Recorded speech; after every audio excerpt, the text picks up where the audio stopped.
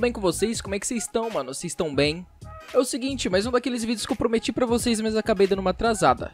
Hoje no quadro Beats a gente vai falar sobre Assassin's Creed Valhalla. É, o jogo tá bem simples de rodar, na verdade, ele tá bem mais leve, parece que a Ubisoft aprendeu com os últimos jogos que eles produziram, mas de todo modo, é, vocês sabem como é que tá. Placa de vídeo tá muito cara, memória RAM tá muito cara, fonte tá muito cara, placa mãe tá muito cara, tá tudo muito caro. Então é bem mais fácil vocês assistirem o quadro Beats aqui comigo, seu querido Samuka, do que você gastar o olho da cara com um PC que você pagaria um terço do valor há, sei lá, uns dois anos atrás. Enfim, vamos pro vídeo. É o seguinte, a gente tá focando aqui hoje para poder fazer esse jogo rodar em um PC sem placa de vídeo.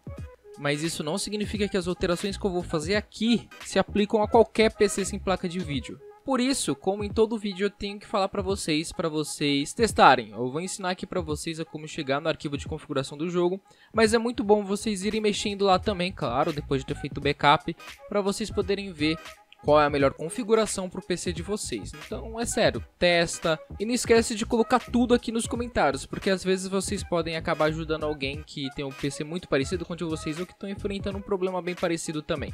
Mas vamos lá, primeiramente, para você achar o arquivo de configuração do Assassin's Creed Valhalla, você precisa ir em Documentos, depois você vai em Assassin's Creed Valhalla, e dentro desse diretório vai ter AC Valhalla, que é o arquivo de configuração do seu jogo disse, aqui é onde você comanda tudo do seu jogo. E por isso, aqui é uma área muito, mas muito importante para o funcionamento do seu jogo no seu PC. Por isso, não esquece, faz o backup, pelo amor de Deus, porque se alguém vir aqui nos comentários reclamar comigo, falando que o jogo bugou ou parou de funcionar, eu vou muito xingar. Sério, faz a porra do backup. Eu tô puta, hein? Tô puta, hein? Faz o backup, porra. Alterações feitas foram em Pixel Density, que eu mudei de 1 para 0.3. Em Bloom, que eu coloquei em 0. Em Character, que eu coloquei também em 0. Em Fog, que eu coloquei também em 0. Em Rain, que eu coloquei também em 0.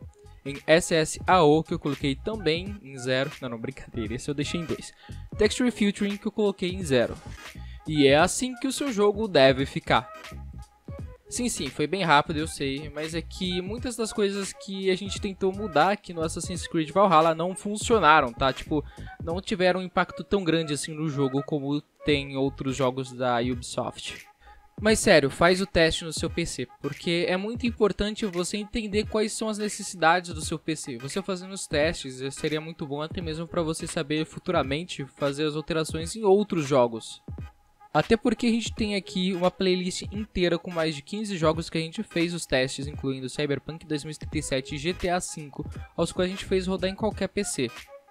Eu vou deixar um card aqui em cima para você conhecer esses vídeos, mas é sério, em todos eles eu sempre dou as mesmas recomendações. Testa e coloca nos comentários se funcionou ou não para você, porque outras pessoas podem te ajudar ou você pode ajudar outras pessoas. Mas é isso, pessoal. Eu vou ficando por aqui. Não esquece de se inscrever, deixar o seu like e compartilhar em suas redes sociais, porque assim você vai me ajudar a alcançar mais pessoas. Ah, e me segue lá no Instagram também, eu sempre estou respondendo vocês. Se vocês tiverem alguma dúvida sobre hardware, software, qualquer coisa, podem me chamar lá que eu vou tentar ajudar vocês da melhor maneira possível, tá? Então me segue lá, eu também gosto da, da companhia de vocês. Estou sozinho aqui nessa quarentena, então por favor, me sigam. é isso, até mais meus bruxos. Thank you.